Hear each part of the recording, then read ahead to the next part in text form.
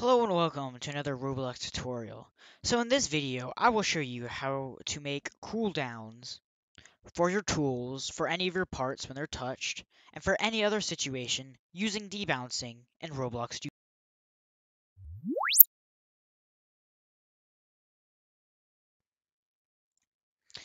So, what exactly is debouncing?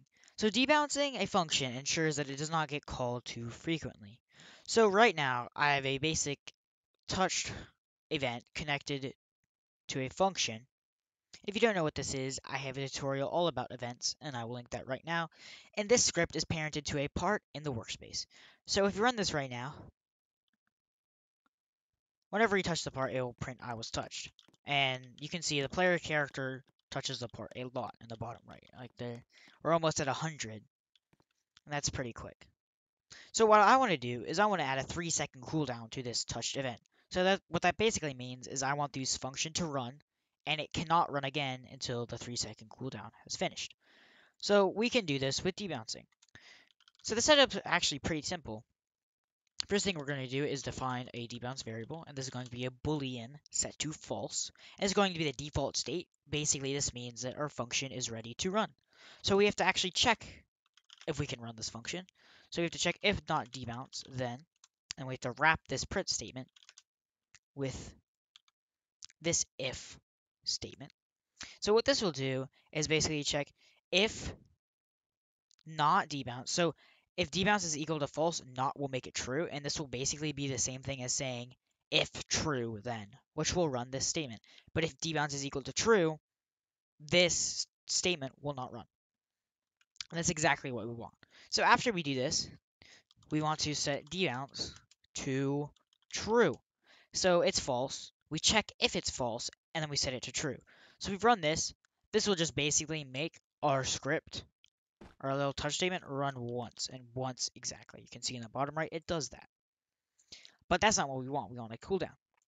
So the only other thing we have to do is just wait a specific amount of time. I'm just going to say 3 seconds and set debounce to false. So what this basically does is we first check if our cooldown, it's not like the cooldown isn't on, debounce is set to false, then we can run this. We just set debounce to true, so any other calls coming into, into this event will get rejected. It'll be like, oh, debounce is true, we can't run. And then it'll wait, and it'll set debounce to false, and the next function that triggers will see that debounce is false, and it'll run. So let's play this. And so you'll see, I step, it says I was touched once, I go back, it says I was touched again. It only does it every three seconds. And if I don't touch it, nothing really happens. So, yeah, that's a basic, very, very basic way to do debounce. So this is a basic version of debounce, but there's a way to make it a little bit better and more simplistic in my opinion. And it also helps to get rid of all of the like end clutter in your script. So what I'm going to do is instead of doing if not debounce then and then run whatever is inside the if statement, I'm going to do if debounce then return end. So this will basically do is prematurely return the function if debounce is true.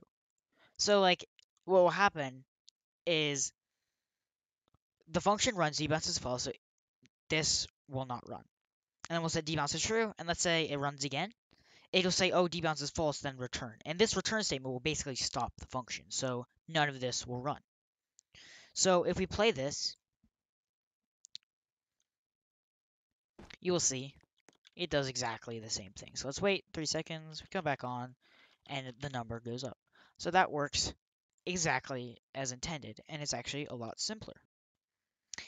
And also, if you want to make your debounce a little bit more dynamic, you can replace this wait statement with any number of things. For example, you can wait for an event to occur, or you can wait till like the player clicks. You can do any of that. It's perfectly expandable, perfectly customizable. So that's a basic overview of cooldowns and debouncing in Roblox Studio. This is very useful, has a wide variety of uses. I use them a lot in tools and in um, part statements or touch things like these, like for example, when I have like a tool front and people like step on a platform to buy one of my tools, I use debounce so it doesn't like spam too much. And overall, it's just super useful for everything. So I hope you guys enjoy this tutorial. This is a very essential tool in Roblox. And make sure to comment any questions or suggestions down below. I hope you guys have a nice day. Make sure to like and subscribe. And goodbye.